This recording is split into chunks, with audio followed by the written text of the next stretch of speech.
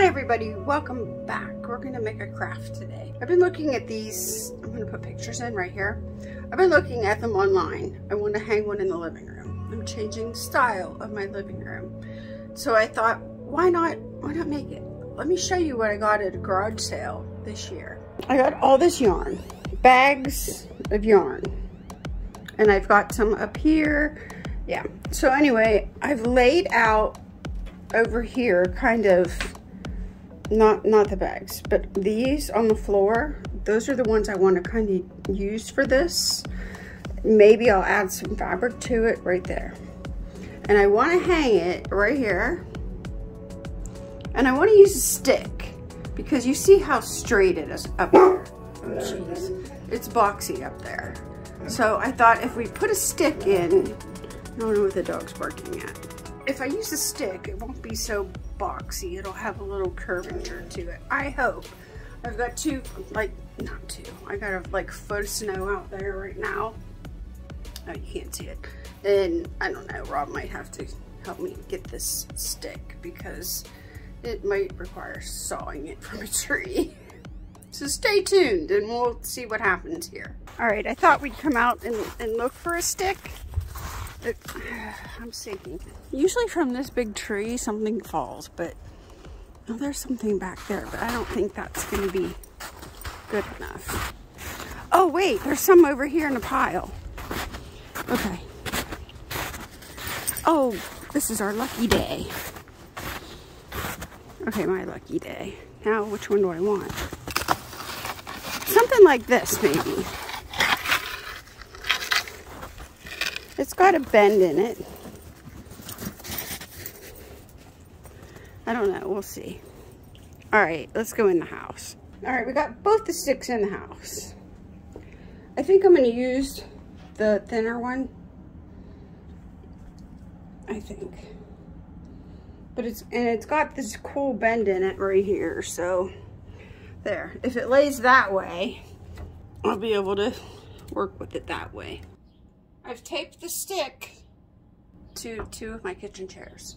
All I've been doing is cutting my yarn in, in maybe five to seven strands and I cut it just long. I didn't measure anything. Let me see.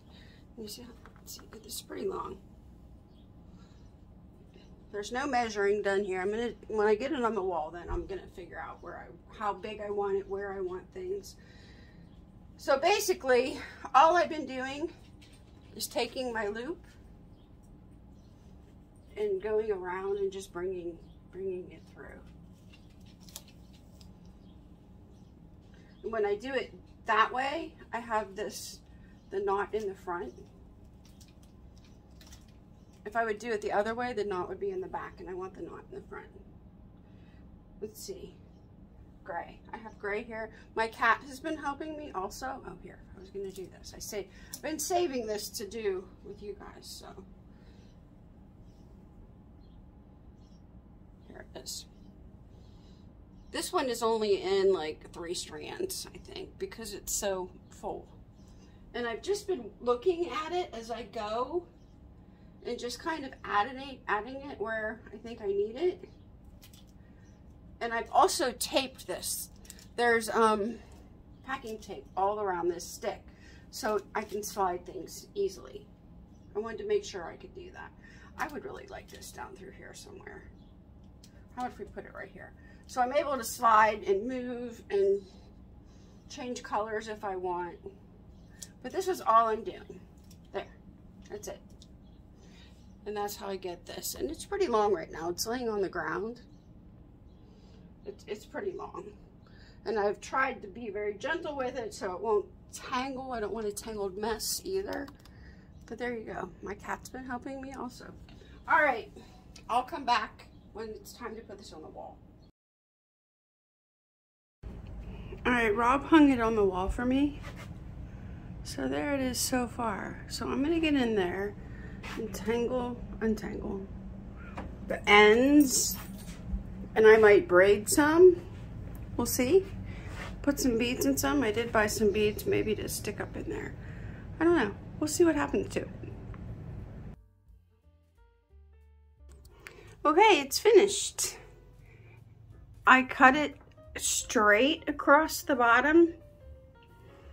I'm gonna put a candle in that thing, not burn it. Fire hazard there, so we, we won't do that. And I might, I don't know, I might move some stuff on top of my piano. But anyway, I put some beads on it and I braided a couple and I also added some jewelry like my grandmother's this, this was my grandmother's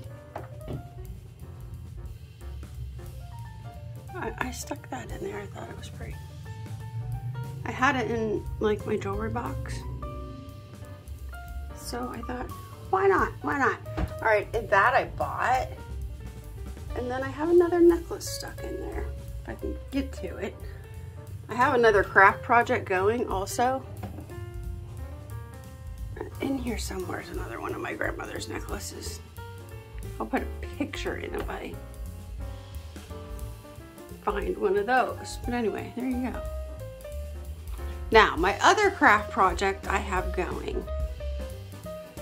Now you don't have to cut that straight across the bottom either. I just thought with the bend up top, I just wanted it straight on the bottom.